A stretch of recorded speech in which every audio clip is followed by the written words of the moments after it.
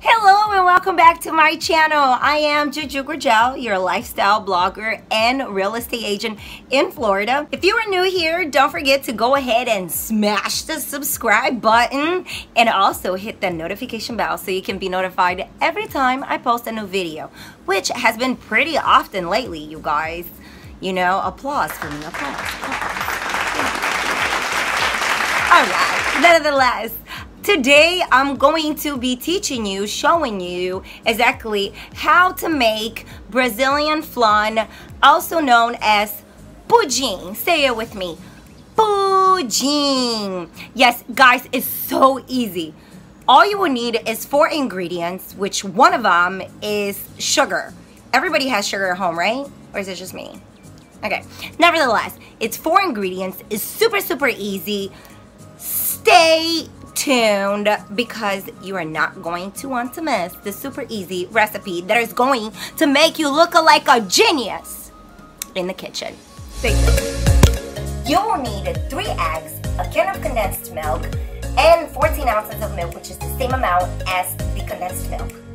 Start by adding the sugar to the pan on the low to medium heat and start stirring it so we can get that caramel sauce going.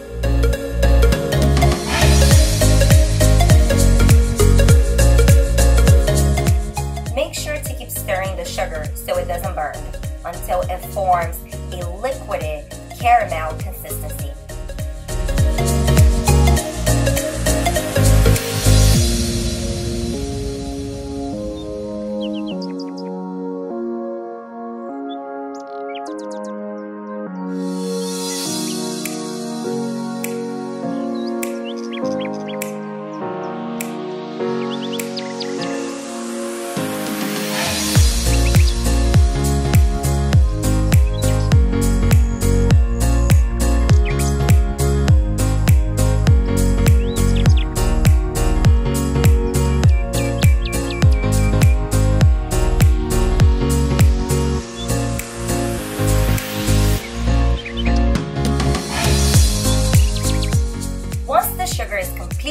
Melted, go ahead and swirl it around the pan to make sure you cover the entire pan.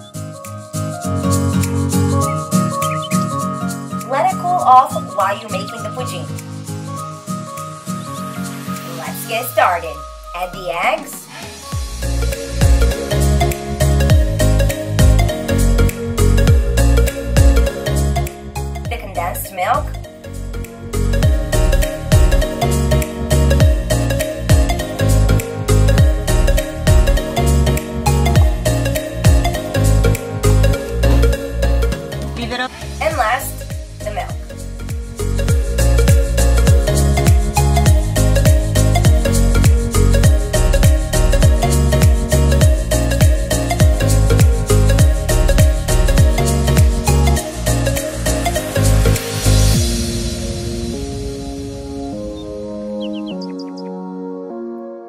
Everything up in a blender.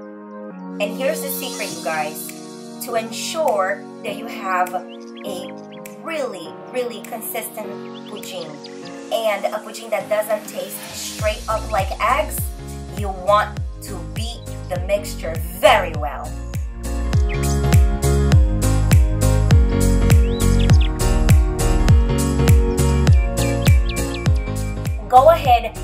Add the mixture to the melted sugar coated pan.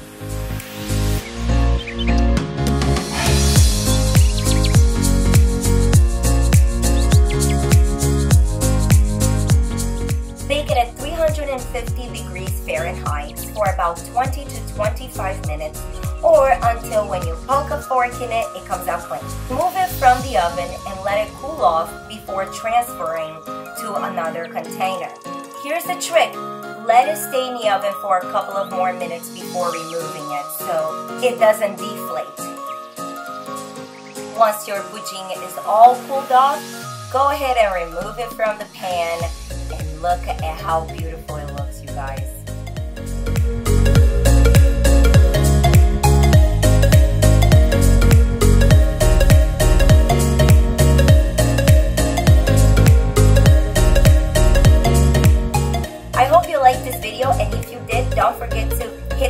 Button and don't forget to subscribe as well.